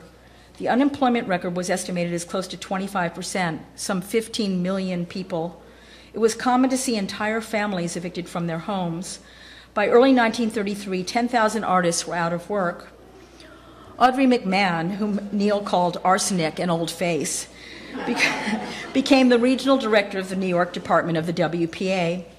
Neel was first on the Public Works of Art Project, or PWAP, which he signed up for the day after Christmas, 1933. In its intention and operation, the PWAP was the precursor to one of the greatest creations of Franklin Delano Roosevelt's New Deal, the Works Progress Administration's Federal Art Project, which began in August of 1935 and ended in 1943. The WPA was key to the survival of a whole generation of artists, and like its famous murals, had an epic sweep. It's almost impossible to overestimate the wide ranging effect of this unprecedented national patronage system on the lives and works of the artists involved and on the cities in which they lived. A phenomenal amount of art was produced by some 5,000 artists, 2,500 murals, over 17,000 paintings, sculptures, 108,000 paintings, 200,000 prints, and 2 million silkscreen posters. In New York City alone, artists painted 200 murals in public buildings and produced more than 12,000 paintings, 2,000 sculptures, and some 75,000 graphics works.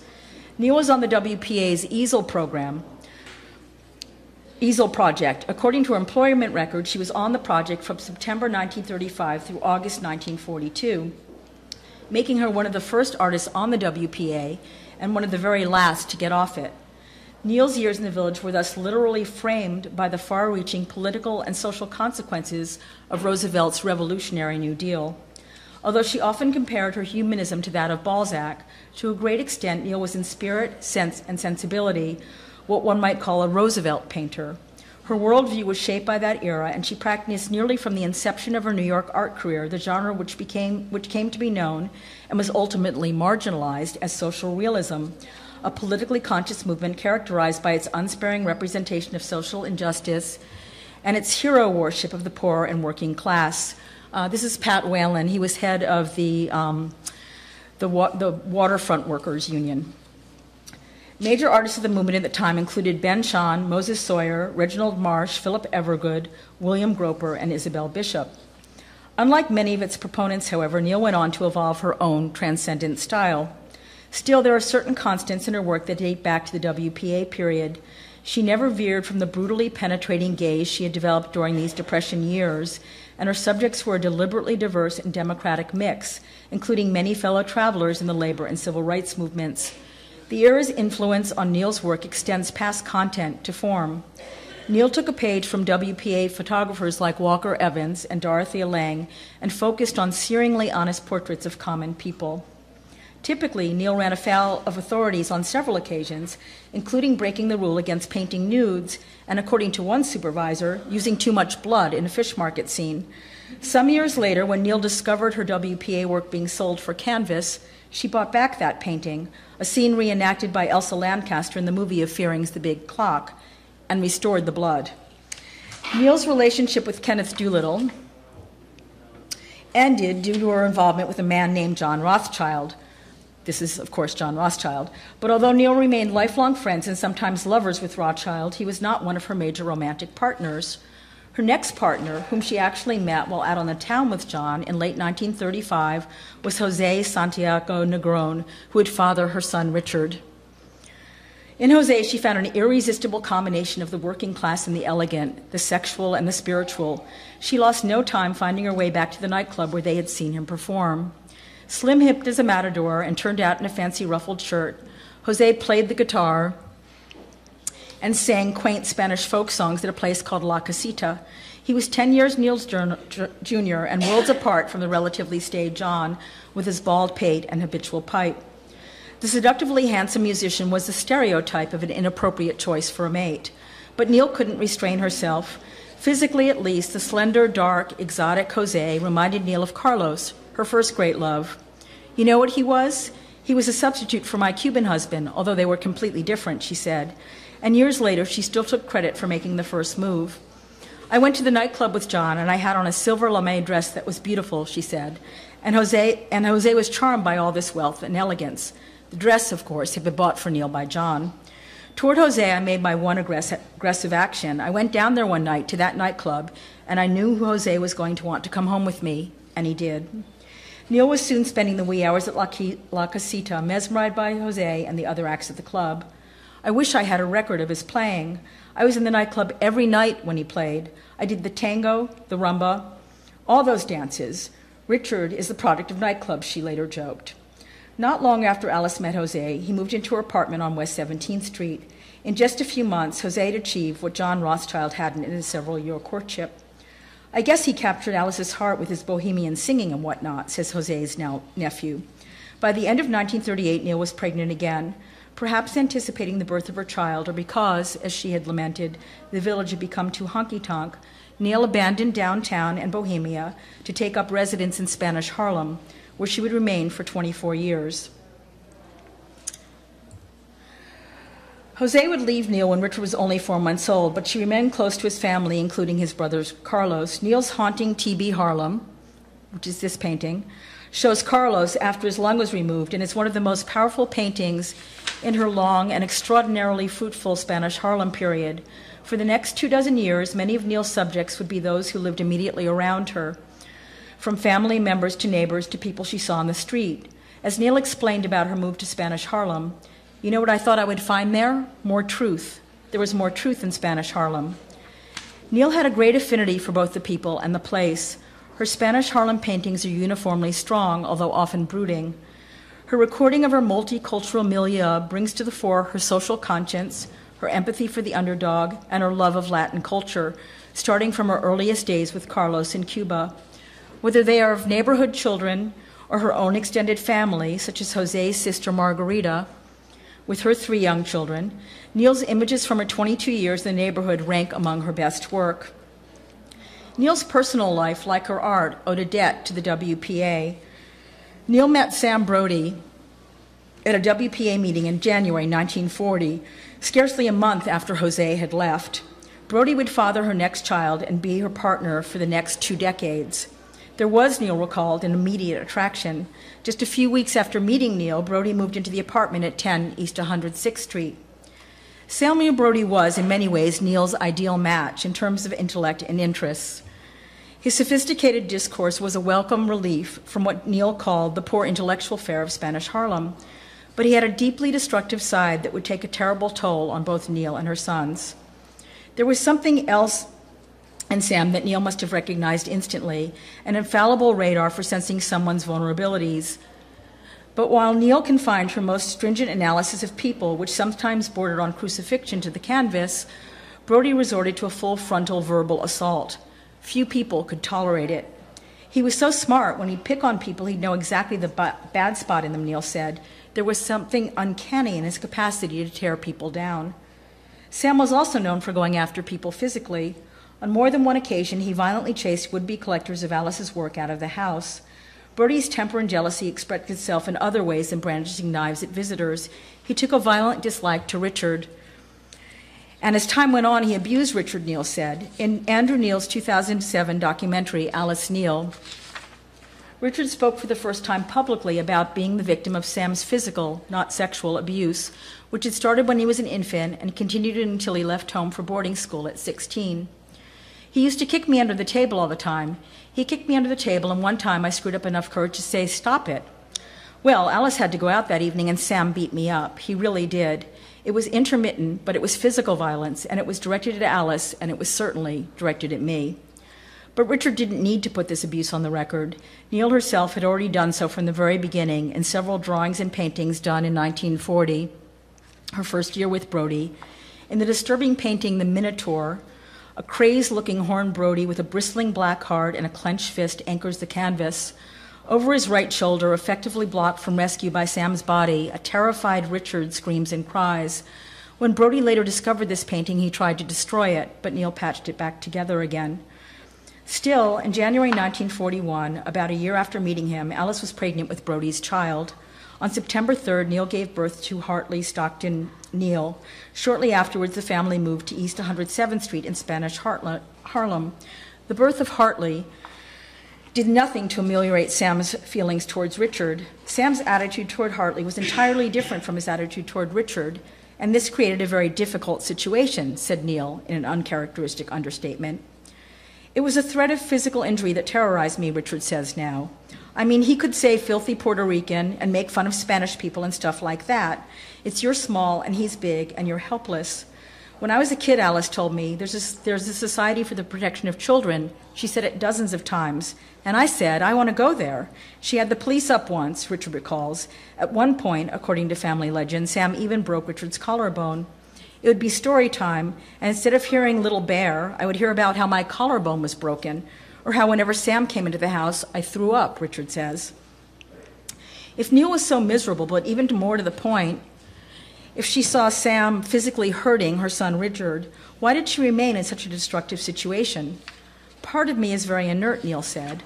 I had the two children, I had the house, I had the basis of living. I wasn't going to leave that or give it up or change it. Do you understand? Hartley frequently came to Richard's rescue. Sam discriminated against Richard in many ways, Hartley says. You know, Richard and I stuck together very much, but at times it was a situation that was just awful. That's all I can say. In the documentary, Richard states it bluntly. The fact is, she tolerated this person she knew was abusing me for years and years. Still, as adults, both Hartley and Richard have nothing but praise for their mother, whom they adore and revere. If she had been satisfied with the paradigm of what some women were supposed to, of what women were supposed to be in her era, says Hartley, she would have been nothing, okay, nothing. She might have been the greatest housewife and mother and all that. This was the other side of the coin. Richard even goes so far as to say that despite the suffering he experienced as a child, having Alice as a mother was a worthwhile trade off. She was a good mother, she was a very good friend to me, and the fact that she might not have been able to give me the protection I might have gotten somewhere else, that's a fact. But suppose I got the protection and I didn't get something else. It was a gift to have her as a mother, certainly. There's no question about it. Neel's final WPA assignment in the summer of 1943 was to scrape armbands worn by guards in case of a German raid. I joined the WPA to paint masterpieces, not scrape armbands, she said. Instead, she spent all day chatting with fellow artists, turning in an already corrected bundle at the end of the day. Neel immediately went on to public welfare, which she would continue to receive through the 1950s. It was the end of an era. Neel had several, show, several shows in the early 1940s and 50s before she was plunged into complete oblivion. The post war politics and advent of abstract expressionism wiped social realism off the map. But Neel never stopped painting, accumulating hundreds of portraits in her apartment. It was a difficult time for figure paintings, but Neel ne- never gave up her commitment not just to figure painting, but to portraiture. She was, she always said, first and foremost, a humanist. It wasn't until the early 60s, when figurative painting, including pop art, resurfaced, that Neel began what would ultimately become her triumphant comeback. Her technique had continued to evolve, and by the 1960s, she was painting portraits that even today look modern and contemporary. By the mid 60s, Neel had established her mature style, creating a series of canvases that are among her best known. This painting of Hartley, done in 1966 when he was a medical student at Tufts, is indicative of the light palette and fluid lines Neel now incorporated into her work. This portrait of Richard was done in the 1970s. Neel would finally find her place in the public spotlight thanks to the feminist movement of the early 1970s, which fully embraced her as a feminist icon. Although Neel had conflicted feelings about the movement itself, she said she'd been a feminist long before the movement arose and ridiculed Judy Chicago for doing nothing but, quote, painting her pussy. She took full advantage of the prominent pedestal feminine, feminism provided, painting many of its movers and shakers, from her 1970 Time magazine cover of Kate Millett to her portraits of Bella Abzug and the influential feminist art critic Linda Nochlin and her daughter Daisy. Her portrait of her daughter in law, Nancy Neel, painted in 1971, is a signature painting of this period. Note the shadow of Richard hovering in the background. Neel was adept at capturing the anxieties of motherhood, and her pregnant nudes, both genre bending and taboo, are among her greatest works. The pregnant nude provided her with a unique and powerful image, literally a physically embodiment of women's basic conflicts. Just as she had chronicled the beats and bohemians of the village in the 1930s, Neel spent much of the 1960s and 70s painting members of the art world, including the artists who perhaps epitomized the second half of the 20th century. That's Frank O'Hara, who she painted in 1960, who at the time was not just a poet but a, a very influential art critic, and she really hoped he would help get her into the Museum of Modern Art, and he didn't. And that's Red Grooms and Mimi Gross, uh, least 10 years before they got divorced, although, as you can see, they're not getting along too well here. Uh, Neel was famous for being able to capture some of the, uh, you know, uneasiness between couples. So, um, so now we're going to get to the artist who epitomized the second half of the 20th century, Andy Warhol. It's an astonishing portrait on every level and one of Neel's personal favorites. Warhol offered to strip to the waist, revealing the scars from the assassination attempt by Valerie Solanas two years earlier, as well as the surgical corset he was now forced to wear. Neel exaggerated these disturbing details to indelible effect. She also painted one of the most voyeuristic and perceptive artists of the, of the 20th century with his eyes tightly closed. She gives the androgynous Warhol an almost feminine form with small drooping breasts and wide hips, and perhaps alluding to Warhol's own beginnings as a commercial illustrator who did shoe advertisements for I. Miller, she rendered his shoes in beautiful, shiny detail.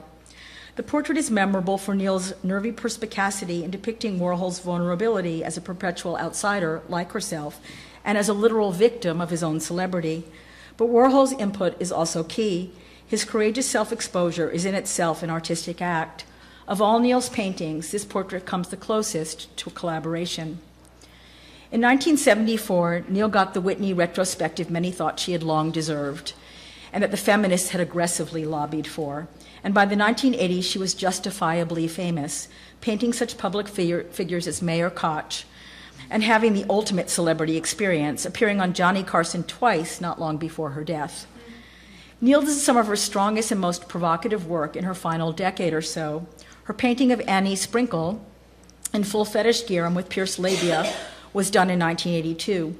She never stopped painting prolifically right up to the time of her death. In fact, her final portrait is that of her attending physician. I'm going to close with a paragraph or two that I'm going to read straight from the book um, that takes place very close to the end of her life when Neel was actually, unlike most artists, at the peak of her powers. And I think this passage describes one of her best paintings ever, done in 1980, but also sort of sums up her extraordinary creative drive. One of the last paintings Neel made was one of her rare self portraits. At 80, Neel cast as relentless an eye on herself as on the hundreds of subjects of her long career. Perched on a chair, the artist known for her scathing nude portraits is, st- is stripped down to her quintessence Naked but for her glasses, a paintbrush, and a rag, she bravely renders herself with neither clothing nor props. Her aging body, equipped just with the tools of her craft, her vision, and her deftly wielded implements, as if to make the definitive statement of self expression I paint, therefore I am. The flesh may sag, may as chronicled family life in the 19th century, but never married or had children. Neel painted from first hand experience of the vicissitudes and rewards of marriage and motherhood. In every aspect of her life, Neel dictated her own terms, from defiantly painting figurative pieces at the height of abstract expressionism, convincing her subjects to disrobe, which many of them did, including Andy Warhol, to becoming a single mother to two sons. No wonder she became the de facto artist of the feminist movement. Very much in touch with her time, Neel was also always ahead of it. Although she herself would probably have rejected such labels, she was America's first feminist multicultural artist, a populist painter for the ages. I painted the neurotic, the mad, and the miserable. I painted the others, including some squares. Like Chichikov, I'm a collector of souls, she liked to say. Alice Neel was born into a tiny town outside Philadelphia at the turn of the century, during the Victorian age, when women were permitted to do little else but marry and bear children. I don't know what you expect to do in the world, Alice. You're only a girl, Neel's mother warned her. She might as well have waved a red flag at a bull. Neel later said the comment made her ambitious. Neel was conventionally pretty, but from an early age her quirks were apparent. I would have a convulsion if a fly lit on me, she said. The tale of Christ nailed to the cross would send me into violent weeping. But despite her psychological and emotional insecurity, Neel always knew she wanted to be an artist. I don't know where it came from, but when I was five or six, my most important Christmas present would be the coloring book. Neel found Colwyn to be completely stifling. In the spring it was beautiful, but there was no artist to paint it. And once a man exposed himself in a window, but there was no writer to write it. There was no culture there. I just despised it. Her life and career were a violent rebellion against the values of her drab hometown, with its numbing normalcy and rigid constraints. Although she frequently returned home, seeking comfort from her mother between recurrent crises, she was hell bent on escaping it. Neel would lead a life that was wild even by bohemian standards and create a deeply original body of work. That's Neel's parents, probably at the time she was about 30. Uh, Neel would create a deeply original body of work. It would be shaped by three potent forces her relentless and transcendent desire to paint, her ongoing struggle with the hardships of poverty, and her adamant refusal to conform. Neel was uncompromising in her absolute drive. In the end, it is that which enabled her to survive and to leave an enduring mark. Neel went to one of America's first women's art schools, the Philadelphia School of Design for Women, now Moore College. She specifically chose the school over the more famous Pennsylvania Academy of the Fine Arts for several reasons. I was very beautiful then, and all the boys chased me. I chose a woman's school so there wouldn't be anyone to distract me. Even more importantly, she said, I didn't want to be taught Impressionism. I didn't see life as picnic on the grass. I wasn't happy like Renoir. By the time Neel graduated from the Philadelphia School of Design, she would prove that she had the two qualities she deemed essential for the life of an artist. You know what it takes to be an artist? Hypersensitivity and the will of the devil, to never give up. The summer she turned 24, Neel spent three weeks at the Chester Springs Country Art School, located in a picturesque corner of Pennsylvania. Although she completed only half the course, her stay there would radically transform her life and her work. It was at Chester Springs that she met Carlos Enriquez, with whom she fell passionately in love and whom she would marry the following years. There are no records documenting the initial meeting between Alice Neel and Carlos Enriquez de Gomez, who arrived at Chester Springs after attending business school in Philadelphia. Carlos, like Alice, was intent on becoming a serious artist and came across as an exotic bohemian. But in fact, he was from one of the, one, one of the wealthiest families in Havana, where his father, a major sugarcane plantation owner, was later physician to Cuba's president. Even years later, Alice enthusiastically described him as gorgeous, and Carlos was, in fact, tall, dark, and handsome. In high school, he had been nicknamed the Mosquito as much for his high strung energy as his high pitched voice. He was thin and wiry, with wavy hair and a trim mustache. In old black and white photographs, his physical intensity and dashing nonchalance are striking. A picture of him and Alice's sweethearts at Chester Springs, sitting on their favorite bench under a tree, shows him sporting a dapper bow tie. Carlos was an infusion of vivid color into the muted palette of Alice's life. That was the first time I really fell in love, she said. But if it was nearly instantaneous, the first phase of their romance was also short lived. Like Alice, Carlos didn't get along well with authority figures. Although Alice said he had been expelled from the school for doing nothing much more than taking walks with her in the evening, he was at loggerheads with the director of the school.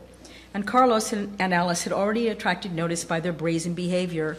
They cut classes, strolled hand in hand through the woods, arranged private evening rendezvous, and, taking advantage of a costume trunk that was also used for sketch classes, even showed up at the school's masquerade party in drag. Neel dressed as a man and Enriquez as a glamorous flapper. Neel often talked about the awful dichotomy she felt towards motherhood. She stalled for over six months after marrying Carlos Enriquez before he finally persuaded her to travel with him to Havana. It's difficult to imagine the intensity of Neel's first impression of Havana. Nothing could have prepared her for the sheer exoticness of the tropical port, from its flora and fauna to the rich resonance of its language. The city had a lush, lyrical quality in keeping with its lilting, omnipresent music, and it was drenched in light and color. Neel must have been equally overwhelmed by the extravagant luxury of the Enriquez household. Having grown up in dark, cramped, low ceiling rooms in a working class town, Neel suddenly found herself not only in a glamorous cosmopolitan city, but living in a marble floored mansion with gracious rooms, wide hallways, and huge arched windows. Alice referred to it as a palace. There was even a charming balcony off the bedroom that she shared with Carlos, overlooking a small garden where peacocks strutted. Within walking distance of the house was the magical Malecon, the curving seaside balustrade that was a favorite promenade for upper class Cubans. At six each day, the hour of the promenade, Neel, Carlos, and her in laws would tool along the Malecon in the Enriquez's chauffeured Rolls Royce. It would be Neel's first and last encounter with such material wealth. Years later, she still marveled at the Enriquez lifestyle. Carlos's father was the most famous doctor in Havana, Dr. Carlos Enriquez de Gomez. You can't imagine how they lived, Neel recalled. On the grand scale, you know. The family had seven servants. One was a cook who just cooked all day. His mother, as a girl, was dressed by slaves, and they lived in this white palace in El Vedado with peacocks walking in the garden. I had a room like Romeo and Juliet's with marble floors and a balcony. My God, it was fantastic. Alice and Carlos lived with his parents for about eight months. As an American, Alice was certainly not expected to conform to the strict turn of the century etiquette that until recently had been required of Cuban upper class women, who were not allowed to roam the city freely, but were either driven to the shops and restaurants or confined to their homes or to private clubs. Still, Neel's behavior must have been a constant affront to her affluent, old fashioned in laws. Alice consorted with the servants. She would spend time in the kitchen with the cook, practicing her Spanish. I wasn't made to sit in the patio and do embroidery, she said. In the evening, she would go out to join Carlos and not return until the wee hours. And there was a much more profound tension. In April, just two months after her move to Havana, Neel discovered she was pregnant with her first child. I should have had some birth control thing because I was then simply an ambitious artist. But anyway, when I got pregnant in Cuba, that was it. Of course, Carlos's father was 100% against abortion. But Neel was intent on not letting her pregnancy prevent her from painting. This is a painting Neel did of her husband Carlos uh, during this time, and it's very typical of, of her palette and her rather academic style at the time. She and Carlos liked nothing better than to take a bus from El Vedado to the poor sections of town, Alice colorfully dressed in the native garb. Equipped with their paint boxes, like, as she put it, Van Gogh, they, could, they would stroll the streets and paint the street people. All we did was paint, day and night, she said. The scenes in these outlying neighborhoods were in vivid contrast to the elegant streets of Carlos's home. As Neel described it, there the Afro Cubans would be dancing. They'd dance like mad and run into the bushes, you know for what. They'd use this strange language, part African and part Spanish. And what dancers, wild, you know. Neel was particularly taken with the bearing of these Cuban women. They have more self than American women. They're highly sophisticated. The American woman was weak compared with the womanliness of the Cuban woman. But for Neel, the real revelation was the community of artists of which she and Carlos quickly became a part. This was a heady time, not just for Neel, but for Cuban culture itself. We completely lived the vie bohemienne, she said. It was more civilized there. The writers and poets and artists all got together. This is a picture of Alice and Carlos, who you can barely see, and their novelist painter friend Marcelo Pogolotti. On December 26, 1926, Neel gave birth to a daughter. Her description of childbirth is unsparing.